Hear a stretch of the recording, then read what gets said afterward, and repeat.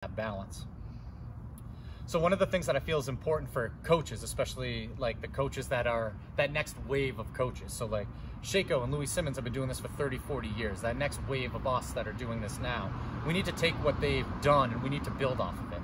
It's the coaches and the lifters out there that are like Westside sucks, Sheiko sucks and stuff like that. It's not and you try to do something completely different, you're kind of throwing away the 40 plus years of progress that they made um, within the sport because both of them have had great results doing what they've done. So our job is to take past paradigms and just build off of them.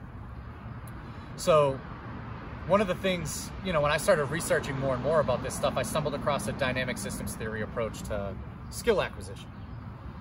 So this is where I call what we do a constraints-led conjugate program. And this is where I got the name from. So dynamic systems theory, constraints-led approach. And that's what I'm gonna cover in this today. So it's basically taking what Sheiko was doing to improve technical efficiency and just building off of it from what we've learned recently in the skill acquisition literature. Um, so what I really like about like a dynamic systems theory is it's not a reductionist approach to training. So oftentimes you'll see training programs look at the human body as a machine, right? So like a lot of our research is done with like EMG studies. So it'll be at these positions, these muscles are most active.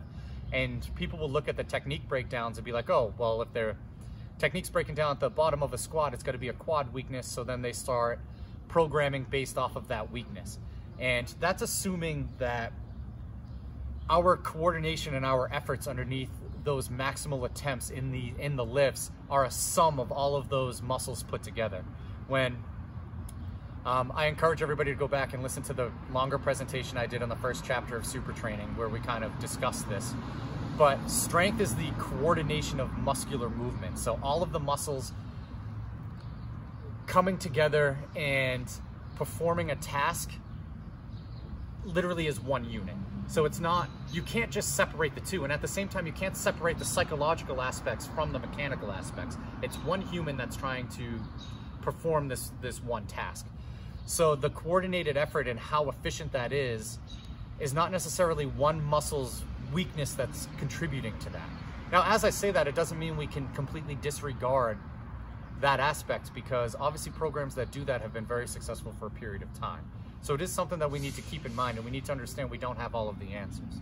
Um, but I view it as more of a holistic approach because I feel, you know, if we're at the bottom of a squat and we're working on the technical efficiency at the bottom of a squat, I can put them in positions that really target those angles and I don't have to worry about which specific muscles are being active because knee extension's happening. So the quads are being hit, but it's being hit within the movements themselves.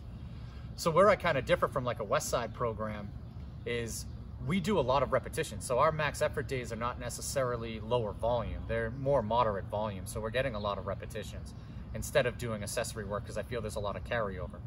But with that said, there comes a lot of um, you got to know your lifters very well. And through years of experience with me fucking this up, I'm much better at handling fatigue now than I was then. Um, so understanding those concepts is extremely important. Okay, so getting, getting back to what I, was saying about dynamic systems theory is we are not machines.